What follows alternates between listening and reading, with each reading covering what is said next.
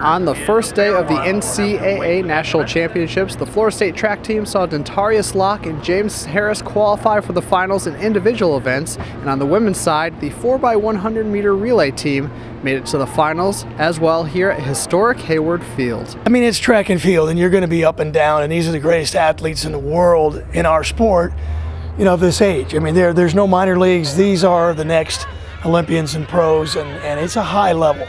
And you just, every little razor amount makes a difference. Really proud of James Harris coming back um, in the open 400 and, and, you know, gut check down that straightaway. Dentarius Locke looked like a veteran, under control, executed. You know, that's what you do in the prelim. You don't go sign autographs in the prelim. You don't try to drop a bomb in the prelim. But again, the highlight probably the women's 4x1 um, out there today. We worked really hard.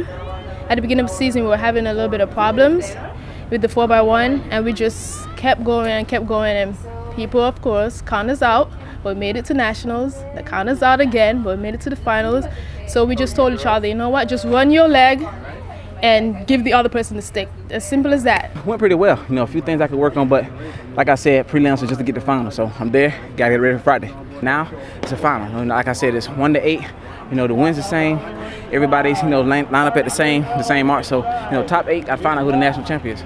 Oh man, four by one stung a little bit, but I just had to stay focused. I didn't have time to get down and, and dwell on it. I knew I had to come back and get ready for the 400. And the 400, wanted to, it it felt real good, and I just had to believe in myself and go out and execute. The work has been done. Now I just got to cash it in. Like I said, 365 days, you know, for this moment. So um, I'll go back and make sure I'm ready for this moment. You know, this is what I've been training for all year. You know, indoors doesn't matter anymore. Now it goes down to this eight. You know, last time I count, came second, and I plan to make sure that doesn't happen. So I got to go out there, make sure I focus on me, do what I'm supposed to do, and make sure it doesn't. Hey, last one, best one, right? So I get to finish doing something I love with people I love. As simple as that. Just that race is over.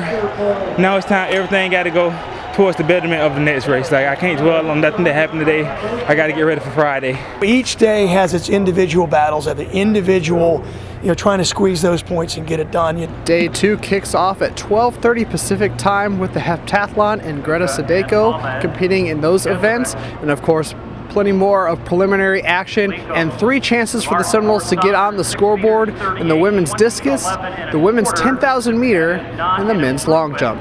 That'll wrap up things for now from historic Hayward Field in Eugene, Oregon. Layne.